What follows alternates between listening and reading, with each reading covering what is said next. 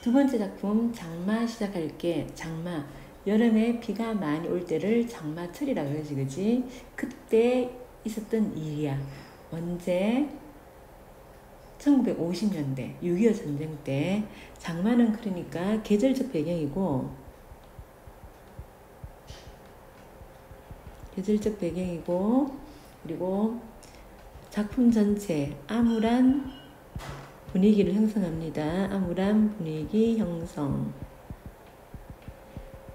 그리고 자 오랫동안 이 장마가 지속되는 거야. 그래서 오랫동안 자, 지속된 6.25 전쟁을 상징하기도 합니다. 자, 전체 내용을 선생님 한번 얘기해 줄게. 여기 보면 인물이 자, 외할머니하고 외삼촌 나오고 할머니와 삼촌이 나오는데 6.25 전쟁 때라 그랬지.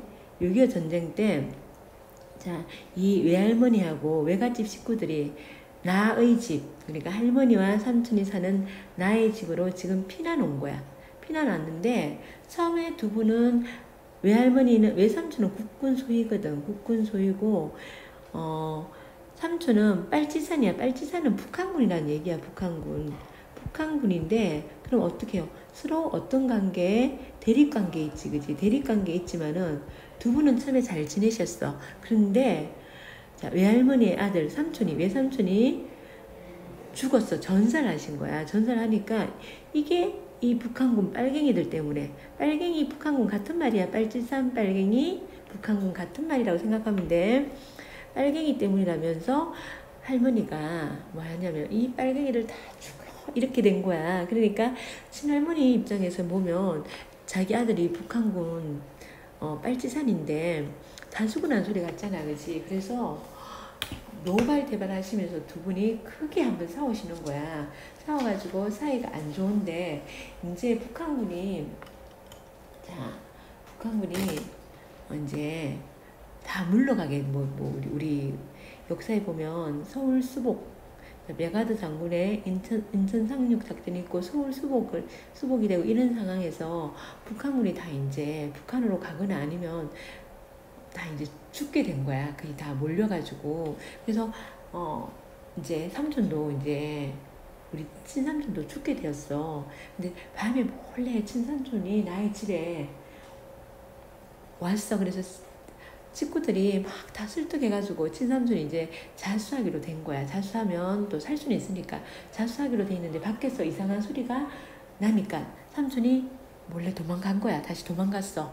도망가고 이제 삼촌이 죽었는지 살았는지 알 수 없고 알 수 없고 이제 대대적인 이제 전투가 빨치산과 북한군과 대대적인 전투가 벌어지고 엄청 많은 빨치산들이 죽은 거야. 그러면 삼촌도 죽을 거라고 이제 추정이 되는데 이 친할머니가 친할머니가 점쟁이한테 점을 보러 간 거야. 무당한테 점을 보러 가니까 이 무당이 맨날 매달 매달 며칠 몇 시에 이 삼촌이 온다고 그러는 거야. 그러니까 할머니가 친할머니가 이 삼촌이 온다는 말만 굳게 믿고 엄청 잔치하듯이 음식을 준비하고 막 그래. 그날 그런 이제 온다는 아침날 온다는 아침에 온 동네 사람들이 나의 집에 다 구경 온 거야. 나의 집에 구경 와가지고 정말 삼촌이 오는지 안 오는지 삼촌 오면 오자마자 잡혀가거든. 오는지 안 오는지 이제 전부 다 보고 있는데 삼촌이 온 게 아니고 이거 봐 밑에 구렁이 엄청 큰 구렁이가 한 마리가 나타난 거야. 이 구렁이가 뭐냐면 전통적인 이게 토속적인 정서에서는 정서에서는 이 구덩이는 죽은 사람들 한많아 한이 많아서 죽은 사람들이 구렁이가 되어서 나타난대. 그러면 구렁이는 누구야? 죽은 삼촌의 한신이면서 죽은 삼촌이 구렁이를 피해서 왔다고 생각하는 거야. 한신이면서 다시 다시 말하면 이때 일제강점기래. 일제강점기가 아니고 6.25 전쟁 때 상처받은 우리 민족이라고 할 수 있어. 우리 민족이라고 할 수 있고요. 이렇게 구렁이가 나타난 거야. 자, 그래서 이 구렁이가 이 친할머니하고 외할머니는 두 분 다 뭐라고 죽은 삼촌이라고 생각하는 거야. 그러니까 친할머니는 아들이 죽었다 생각하고 바로 기절하셔요. 죽었다는 생각에 쓰러지고 자, 외할머니는 이 구렁이를 할머니 대신 달래입니다. 할머니 대신 달래, 달래가지고 구렁이가 이제 나의 집 이제 감나무에 칭칭 감아가지고 올라가가지고 꼼짝도 하지 않고 있는 거야. 그러니까 그 할머니의 친할머니 쓰러진 할머니의 머리카락을 태워가지고 구렁이를 달래가지고 보내는 거야. 이제 달래서 보낸다는 것은 편안하게 저승길로 갈 수 있도록 해줬다는 소리야. 그래서 두 분이 두 분이 한번 어, 대판 싸우고 난 다음에 사이가 안 좋았지, 그지? 이렇게 달래 보내니까 친할머니가 외할머니를 오시라고 그래가지고 두 분이 서로, 서로 화해하고 그리고 할머니 쓰러지셨잖아. 할머니 쓰러지셨는데 일주일 정도 더 있다가 할머니 돌아가시고 장마가 끝나. 장마가 끝났다는 것은 전쟁이 끝났다는 소리야. 자, 배경은요, 시대적 배경은 6.25 전쟁 때야. 어느 농촌 마을이고요. 그리고 서술자는요, 나 동만이야. 지금은 어른이 됐는데, 어른이 된 서술자가요, 과거에 어릴 때, 아, 우리 집에 이런, 그때 이런 일이 있었어 하면서 과거를 회상하면서 이 얘기를 우리에게 전달해 주는 거야. 그러면 주인공은 누구야? 두 할머니겠지. 이 외할머니와 친할, 친할머니가 주인공이야. 그럼 시점은 어떻게 돼? 1인칭. 관찰자 시점이 되는 거야. 관찰자 시점. 주요 사건은 뭘까요? 주요 사건은 구렁이가 나타나는 일이겠지. 그지? 그러면 내용 자세히 볼게요. 자, 삼촌 대신 나타난 구렁이의 의미와 구렁이를 보고 쓰러진 할머니를 대신하여 구렁이를 달래어 보내는 할머니의 외할머니 행동에 담긴 의미를 우리 생각하면서 읽어보자. 자, 여기 지금 구렁이가 출연했어. 이제 구렁이가 삼촌이 안 오고 그 점, 무당이 몇월 며칠 몇 시에 삼촌이 올 거라 그랬는데 그 삼촌이 안 오고 떡하니 구렁이, 구렁이가 오는 거야. 구렁이의 출연은요.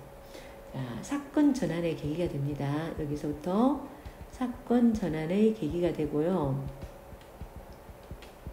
그리고 두 할머니의 갈등, 두 할머니의 갈등 해소 계기가 되고 그리고 사건을 이끌어가든 사건을 이끌어가든 중심 인물이 중심 인물이 그때는 할머니였어 친할머니 인물이 할머니에서 할머니 이제 쓰러지시는 거야. 그래서 그 다음부터는 외할머니로 외할머니로 전환됩니다. 전환. 자, 외할머니의 몸이 구렁이가 칭칭 감긴 늙은 감나무 바로 밑에 똑바로 서 있는데도 아무 일도 일어나지 않자 지금 구렁이가 들어와가지고 나의 집에 와가지고 나의 집에 있는 감나무 위에 칭칭강 올라가 있는 상황이야. 거기서 그 밑에 외할머니가 있어. 그러면 외할 구렁이가 외할머니를 공격한다거나 그런 일이 일어나지 않, 않았던 거야. 그때까지 숨을 죽여가며 지켜보던 많은 사람들 입에서 저절로 한숨이 새어났다. 이게 이제 안도감이야. 아, 구렁이가 할머니를 공격하지 않은, 않는구나. 이런 안도감. 바로 머리 위에서 불빛처럼 박힌 앙증스러운 눈가를 요모조모 빛내면서 자꾸 대가리를 숙여 까딱까딱 이업을 주는 커다란 구렁이를 보고도 외할머니는 두려워하지 않았다. 까딱까딱 이런 거 이런 단어를 뭐라 그래? 우리는 소리를 흉내내는 말 의성어지 그지? 의성어를 뭐 음성 상징어라 그러지. 자. 외할머니는 두 손을 천천히 가슴 앞으로 모아 합장을 했다. 합장은 두 손바닥을 모으고 인사하는 거, 절하는 거. 손님들이 절에 가면 인사하는 거, 그걸 합장이라 그래. 그러면서 이제 사람 얘기하듯이 구렁이한테 얘기하는 거야. 에고 이 사람아, 집안일이 못 잊었어. 이렇게 먼 길 찾아왔는가 하면서 누구한테 얘기하듯이 사람에게 자 얘기하듯이 해. 왜? 왜 구렁이를 삼촌의 죽은 삼촌의 환신으로 환신으로 여기기 때문에 이렇게 얘기를 하는 거야. 꼭 울어보채는 아이한테 자장가라도 불러주는 투로 조용히 속삭이는 그 말을 듣고 누군가 큰 소리로 웃는 사람이 있었다. 큰 소리 웃는 사람이 있겠지, 그지? 사람한테 하듯이 하니까 웃기잖아. 그러자 외할머니는 눈이 단박에 바로 세목골로 변했다. 세목골로 쫙 째려보는 거야. 쫙 째려보는 거야. 이거 몹시 화가 났다는 소리야. 몹시 화가 남. 그러면서 어떤 창사고 빠진 잡놈이 창자 빠진 잡놈이 그렇게 희득거리고 있었냐 그렇게 웃고 있냐 어서 이리 성 나오, 나오니라 줄이 될 놈 하면서 줄이 될 놈은 우리 옛날에 우리 공 같은 거 할 때 다리 묶어 놓고 다리에 이렇게 어, 막대기 X자로 입고 오는 거 있지 그게 줄이형을 당해도 쓴 사람 이걸 될놈 이렇게 완전 욕을 하시는 거야. 외할머니의 대갈보령에 아주 큰 소리로 꾸짖는 소리에 사람들은 지죽은 지죽은 소리도 못했다. 움츠러 든 거야. 외할머니는 몸을 돌려 다시 구렁이를 상대하였다. 자네 누구야? 구렁이지. 구렁이는 누구라고 생각한다고? 삼촌이라고 생각한다고? 노친께서 늙으신 어머니께서 기력이 여전하시고 다른 식구들 모다들 모두들 모두 다잘 어, 지내고 있네. 그러니까 집안일일랑 아무 염려 말고 어서서 자, 자네 가야 헐띠로 갔소. 자네 가야 헐띠는 어딜까요? 저성. 걱정하지 말고 하늘 풀고 저승 가라고 얘기하는 거야. 구렁이는 꿈쩍도 하지 않았다. 철산 소막 같은 햇바닥을 날름거리면서 대가리만 두어 번 들었다 놓았다 했다. 가야 할 때가 보통 명, 먼 길이 아닌디 여기서 여기는 어디야? 이성에서 숭거리고만 있었어야 되겠는가? 자꾸 이러면 이러면은 못 쓰네, 못 써. 자네 심정은 내 짐작 허건네만 집안 식구들 생각도 해야지. 자네 놓친 양반께서 자네가 이러고 있는 꼴을 보면 얼마나 가슴 미어지겠는가. 죽었어도 저성도 못 가고 이 어, 떠도는 모습 보면 얼마나 마, 마음 아프겠어 이러면서 자네 놓친 양반께서 이건 나의 할머니지 나의 할머니 삼촌의 어머니 자 자네가 이러고 있는 꼴 어떤 꼴? 이성과 저성을 떠도는 모습을 본다면 얼마나 떠도는 모습을 본다면 얼마나 가슴이 아프겠냐고. 그래서 자 외할머니가요 지금 외할머니가 누굴 걱정해? 친할머니 걱정하지 그지? 외할머니가 할머니를 걱정하며 하는 말인데 하는 말 자, 그러면 두 할머니의 하해의 실마리가 됩니다. 외할머니는 꼭 산 사람 대하듯 이를 올려다보면서 조용조용히 말을 건네고 있었다. 하지만 아무리 간곡한 말씨로 그득 살려봐도 구렁이는 좀처럼 움직일 기척이 안 보였다. 움직일 기척이 안 보였다는 것은 아직 한이 풀리지 않았다는 거야. 한이 풀리지 않음. 이때 울타리 너머에서 어떤 안악이 뱀을 쫓는 방법을 일러주었다. 모습은 안 보이고 목소리만 들리는 그 여자는 머리카락을 태워 냄새를 피우면 된다고 소리쳤다. 이게 이제 머리카락을 태우는 게 뱀을 쫓는 거야. 이거 무속신앙, 우리 무당 같은 거, 이런 무속신앙이, 신앙에, 무속신앙에 근거한 주술적 행위지, 주술적 행위. 주술적 행위고요. 옆에 한번 볼까요? 자, 구렁이의 등장과 애할머니의 대응은요, 죽은 삼촌이 한이 맺혀 구렁이가 되어 나타고, 나타났다고 여기고요. 외할머니의 대응은요, 자, 죽은 삼촌, 한이 맺혀가지고 구렁이가 되었다고 생각하고요. 자, 애할머니는 원한 풀어줘야 된다 생각하지, 그지? 그리고 구렁이를 달래고 있어요. 이건 다 뭐, 무속신앙, 토속적 신앙 같은 말이라고 생각하면 돼. 이 토속적 신앙을, 신앙의 바탕을 두고 구렁이를 뭘로 죽은 삼촌이라고 믿고 있어요. 그 다음에 핵심 태그 볼게. 외할머니가 구렁이를 죽은 삼촌으로 여기고 달래지만 꼼짝도 하지 않는 구렁이가 있고요. 그 다음 갈게요. 자, 외할머니의 지시에 나는 자, 뭐 태우면 된다 했어? 머리카락 태우면 된다 했지, 그지? 어머니의 머리카락을 태워야 되는 거야. 할머니의 머리카락을 얻으러 안방으로 달려갔다. 자, 그런 사이에 자네 올려면 오면 줄라고 노친께서 여러 날 들여 장만한 것일세 먹지는 못할 망정 눈욕이라도 하고 갔소. 다 자네 놓친 정성 아닌가? 자네 놓친 누구야? 나의 할머니지. 나의 할머니가 이렇게 정성스럽게 마련한 음식이니까 먹지는 못하겠지. 그래, 그래, 그러니까 복이라도 하고 가려고, 가라고. 내가 자네를 쫓으려고 이러는 건 아니네. 그것만은 자네도 알아야 되네. 남새가 냄새야. 머리카락 태운 냄새 노린내 나요. 나더라도 너무 섭섭다 생각 말고 집안 일이랑 아무 걱정 말고 멍 그럼 멍 그럼 어떤 어디 저성길 부대 부디 편안히 편안히 가소 이야기를 다 마치고 외할미, 외할머니는 불씨가 담긴 그릇을 해집었다. 왜? 할머니의 머리카락을 태우기 위해 할머니의 머리카락을 태우기 위해서고요. 그 위에 할머니의 흰머리가 올려지자 지글지글 끓는 소리를 내면서 타오르기 시작했다. 단백질을 태우는 노린내가 멀리까지 진동했다.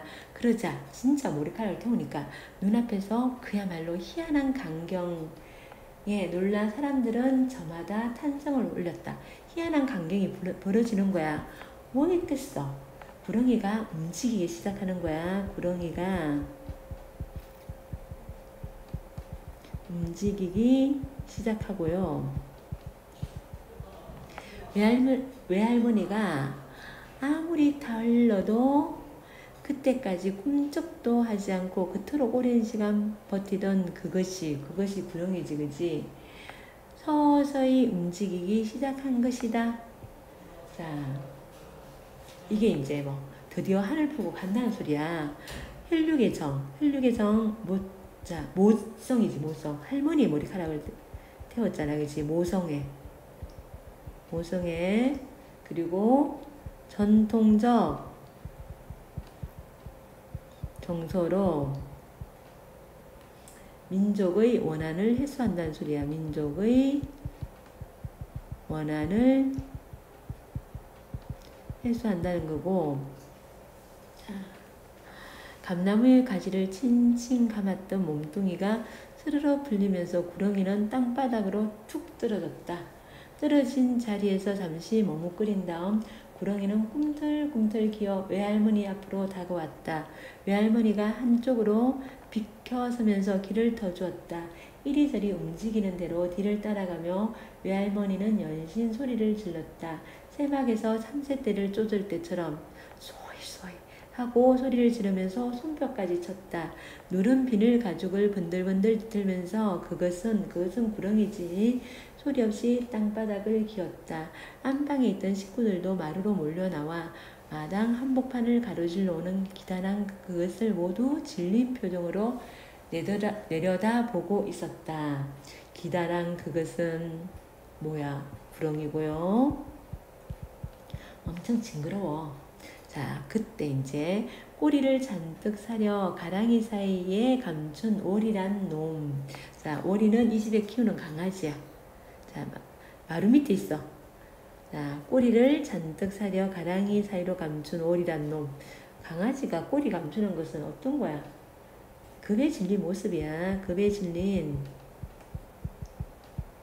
모습으로 지금 마루 밑에 있어요. 나오지도 못하고요. 그래도 꼴값을 하느라고 마루 밑에서 다 죽어가는 소리로 지저대고 있었다. 몸뚱이의 몸뚱이의 움직임과는 여전히 따로 노는 꼬리 부분. 자, 이게 이제 꼬리가 왜 몸뚱이와 달리 움직일까? 꼬리가 있잖아. 애들이 있잖아. 구렁이가 나타나니까 막 막대기 던지고 돌 던지고 이러니까 꼬리가 잘려가지고 이제 끝이 좀 상처를 입은 거야. 그래서 이제 따로 너들너들거리며 노는 거야. 이게 이제 삼촌이요. 그냥 개인적인 삼촌의 한일 수도 있지만 이게 우리 민족을 얘기한다고 보면 돼요. 그러니까 이게 상처 입은 구렁이는요. 우리 민족의 상처. 민족의 상처. 그리고 역사의 상흔, 상처의 흔적이라고 할 수 있습니다. 꼬리 부분을 왼쪽으로 삐딱하게 흔들거리면서 그것은 방향을 바꾸어 헛간과 부엌을, 부엌 사이 공지로 천천히 지나갔다. 공지는 빈 터, 빈 땅, 빈 땅 사이로 이제 지나가고 있는 거야. 소이 소이 외할머니의 신 목청을 들어받으며 꿈을 어, 들어받으며 그것은 그것은 구렁이지 우물 곁 우물 겉을 거쳐 넓은 디란을 어느덧 완전히 통과했다. 다음은 숲이 우거진 대밭이었다. 고맙네 이 사람 지금 구렁이 보고 하는 얘긴데 누구야? 구렁이 보고 하는 얘긴데 누구를 나타낸다고? 삼촌을 나타내지. 집안일은 죄다 성님한테 형님이 형님 형님이고 형님은 누굴 얘기하니? 나의 아버지야 나의 아버지 아, 맡기고 자네 혼자 몸뚱이나 지발 성여서 먼 걸음은 저성길. 빼나니 갔소 뒷일은 아무 염려 말고 그저 빼나 빼나니 갔소 정말 고맙네 이 사람아. 장마철이 장마철에 무성이 도난한 죽순과 대나무 사이로 모습을 안, 모습을 완전히 감춘 감추기까지 외할머니는 우물 곁에 서서 마지막 당부의 말로 구렁이를 배웅하고 있었다. 자, 마지막 당부의 말을 하고 있어요. 자, 이게 무슨 당부의 말 뭘까요? 이승의 하늘 풀고 하늘 풀고 저승으로 가라는 말. 이 말을 하고 있는 거야. 그 다음 갈게요. 자, 할머니가 이제 드디어 깨어나가셔가지고, 친할머니 아까 구렁이 보고 쓰러지셨잖아, 그지? 깨어나신 거야. 깨어나셨다가 자리에 일어난 건 아니야. 자리에 누우셔가지고, 누굴, 외할머니, 외할머니가 구렁이 달래 보냈다는 얘기를 다 들은 거야. 그래서 외할머니를 안방에 오시라고 그런 거야. 그래서 두 분이 하야하시는 거야. 아, 잠깐만. 옆에 안 했다. 옆에 보자. 자. 외할머니가 한 행동의 의미, 할머니의 머리카락을 태워 구렁이에 한을 풀어주고 할머니 대신 구렁이를 자 사람 대하듯 달려 배웅하고 있지. 이게 가족의 의미는 가족의 모승애를 통해서 가족의 상처를 치료한다는 의미고 이걸 좀 더 확대시켜 보면 민족의 의미, 같은 민족 사이에 일어난 6.25 전쟁이라는 비극적 어, 민족의 비극이지. 그걸 갖다가 민족적 이해와 사랑으로 극복할 수 있음을 보여주는 거야. 같은 정서를 갖고 있지. 같은 정서를 갖고 있는 우리 민족이 서로를 보듬어 안으면서 화해할 수 있다는 의미야. 자, 핵심 태그 보면, 자, 누구의 머리카락을 태웠어? 할머니의 머리카락을 태웠지, 그지? 그러니까, 구렁이가 움직이기 시작하는 거야. 자, 그 다음에, 자, 고맙소. 전기가 꺼진, 전기가 꺼지는이라는 것은 힘이 하나도 없는, 생기가 없는, 이런 소리, 이런 뜻이야. 생기가 없는. 우묵한 눈을 지켜 간신히 외할머니를 올려다보면서 할머니는 목이 깡매었다. 사분도 사돈이야 사돈 두 분 사이는 사돈지간이지 그지 별 싫은 말씀을 다 외할머니는 말 것을 마물, 마무르지 못했다 야한테서 이 얘기를 이 얘기를 이야기를 다 들었어. 내가 당해야 할 일을 사분이 대신 맡았구랴. 그 흠한 일을 다 치르노라고 얼마나 수고스러웠을꼬. 자, 그 흠한 일 어떤 일일까?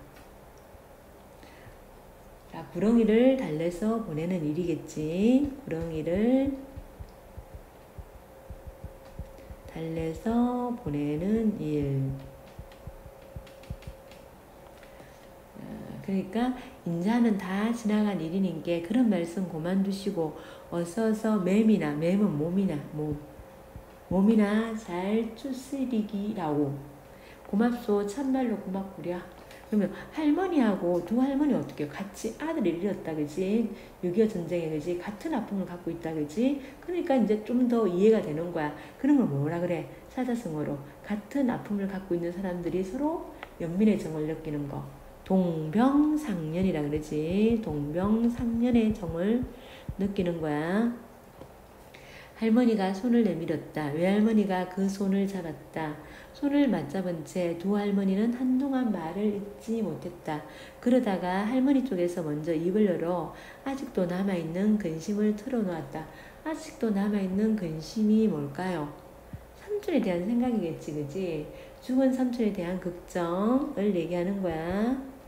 죽은 삼촌에 대한 걱정을 얘기하는 거고, 탈 없이 잘 가기나 했는지 몰라라오. 염려 마시란 게요. 지금쯤 어디 가서 편안히 거처함시로 사분댁 터준 옷을 톡톡히 하고 있을 것이오. 사분댁 사돈댁의 터주 터주는 집안을 지키는 신이야. 우리 있잖아 함께 볼때 마동석이 그 집안을 지키는 신이었잖아, 그지? 그런 자, 그런 신이 돼가지고 집안을 집안을 지켜줄 거라는 거야. 죽은 삼촌이. 그만한 이야기를 나누는데도 대번에 기운이 깔아져 할머니는 가쁜 숨을 몰아쉬었다. 가까스로 할머니가 잠들기를 기다려 고안을 맡은 고문만을 남기고 고안은 간호를 맡은 고문만 남기고 모두들 큰 방을 물러나왔다. 그날 저녁 할머니는 또 까무라쳤다. 또 기절하신 거야. 의식이 없는 중에도 대숟갈 흘러 넣은 미음과 탕약을 입 밖으로 죄다 토해 버렸다. 그리고 이튿날 마치 육체 운동장에서 정신이란 이름의 장난꾸러기가 들어왔다 나갔다 숨바꼭질하기를 수없이 되풀이하는 것 같은 고통의 고통의 시간의 연속이었다. 자, 육체의 육체 운동장에 정신이란 장난꾸러기가 들어왔다 나갔다 하는 것 같아. 자, 이게 무슨 소리야? 정신이 들었다 나갔다 한다는 소리야. 정신이 정신이 들었다 나갔다 나갔다를 수없이 반복한다는 얘기고 수없이 반복한다는 얘기고 자, 이런 시간이 굉장히 고통스러운 시간이었다는 거야. 대소변을 일일이 받아내는 고역을 치러가면서 할머니는 꼬박 일주일을 더 버텼다. 그리고 이제 쓰러지신 뒤에 일주일 더 사시다가 돌아가시는 거야. 안에 있는 아들보다 안에 있는 아들은 누굴까요? 나의 아버지지. 나의 아버지고 자 밖에 있는 아들은 누굴까요? 나의 삼촌이지. 돌아가신 나의 삼촌을 언제나 더 생각했던 할머니는 마지막 날 밤에 다 타버린 촛불이 사라지듯 그렇게 눈을 감았다. 눈을 감았다는 것은 돌아가셨다는 얘기지. 그렇게 돌아가셨다는 거야. 아들을 그렇게 기다리다가 돌아가신 거야. 할머니의 긴 일생 가운데서 어떻게 생각하면 잠도 안 자고 먹지도 않고 그러고도 놀라운 기력으로 며칠 동안이나 식구들을 들볶아대면서 삼촌을 기다리던 그 짤막한 기간이 사실은 끝이기 직전에 마지막 한순간을 하악 타오르는 촛불의 찬란함과 맞먹는 할머니에게는 가장 자랑스럽고 행복에 넘쳤던 시간이었나 보다. 자, 이거 1인칭 주인공 시점이니까 화자가, 화자다. 시에서는 하자고 소설에서는 서술자라 그러지. 서술자가 추측하는 거야. 자, 그래, 그런 시간이었을 것 같아. 이러면서 아들의, 아들이 온다 그랬으니까 아들의, 아들 생활에 대한, 아들의 생활에 대한, 생활에 대한 믿음 때문에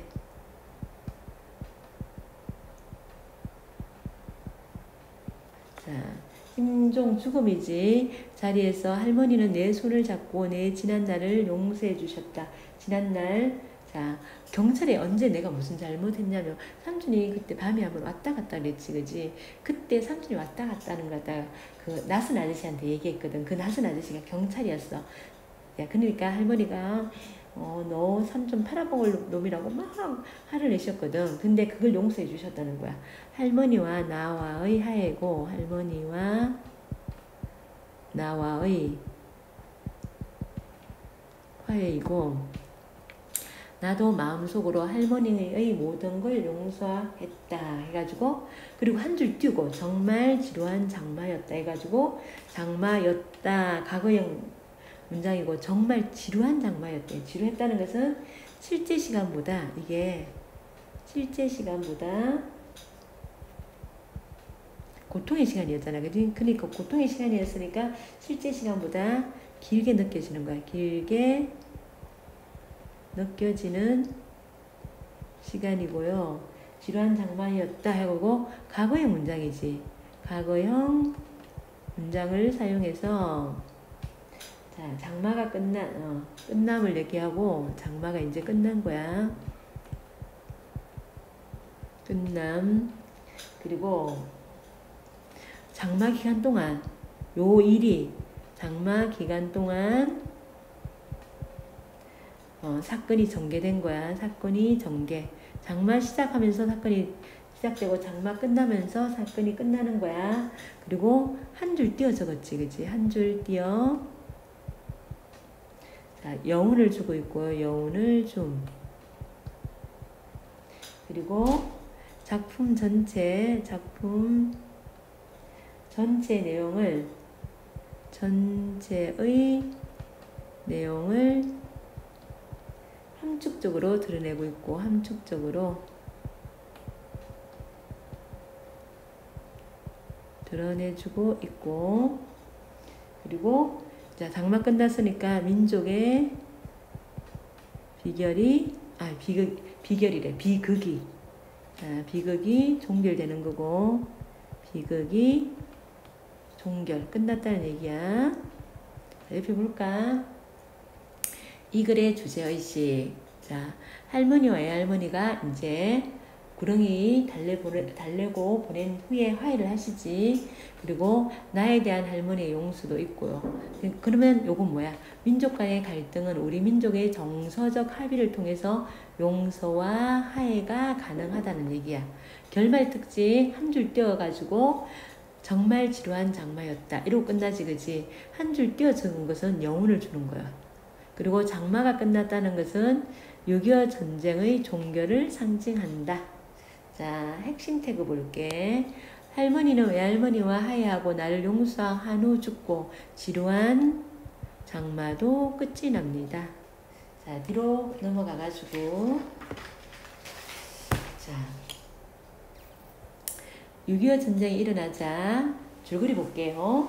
6.25 전쟁이 일어나자 나의 외가 식구들이 나의 집으로 피난 오면서 외가와 친가 식구들이 함께 모여서 한 집에 살게 돼. 어느 날 낯선 사람이 삼촌이 집에 왔다는 사실을 아, 낯선 사람에게 내가 나가 삼촌이 집에 왔다는 사실을 말한 일로 할머니가 엄청 분노를 사. 왜 삼촌 팔아먹는 놈이라고. 이렇게 얘기하면 삼촌 잡혀가거든. 그런 나를 외할머니가 감사, 감사하면서 이제 두 분 사이 갈등이 시작되고 결정적인 것은 국군 아들 둔 외할머니와 빨치선 아들 둔 할머니 사이에 금이 가기 시작했는데 외할머니가 전사한 거야. 그래서 외할머니는 빨갱이를 저주하는 말을 해요. 그러니까 이를 들은 할머니가 우리 아들 죽으란 말이야. 그러면서 대판 큰 싸움을 벌여줍니다. 자, 빨치살인 삼촌이 몰래 집에 왔던 날 친가 식구들의 설득에 삼촌은 자수할 것을 결심해요. 하지만 문 밖에서 인기증이 나자 삼촌은 도망갑니다. 그 후 빨치산과 국군의 전투가 벌어지고 가족들은 삼촌이 죽었을 것이라고 체념해요. 그러나 할머니만은 죽었다고 안 믿습니다. 점쟁이가요. 아무 날 아무 시에 삼촌이 살아 돌아온다는 말을 한 거야. 그 말을 믿고 삼촌 맞이할 준비를 합니다. 자, 이제 밑에는 이제 앞에 금방 본 본문이야. 삼촌이 돌아올 것이라고 점쟁이가 알려준 날 집에 크다란 뭐가 나타났어? 구렁이가 나타났지. 구렁이가 나타나. 할머니는 삼촌이 죽어 구렁이가 나타났다고 생각하고 기절합니다. 이 구렁이를 누가 달래보내? 외할머니지. 외할머니는 쓰러진 할머니를 대신하여 구렁이를 꺽진히 대접하며 달래어 떠나보내고요.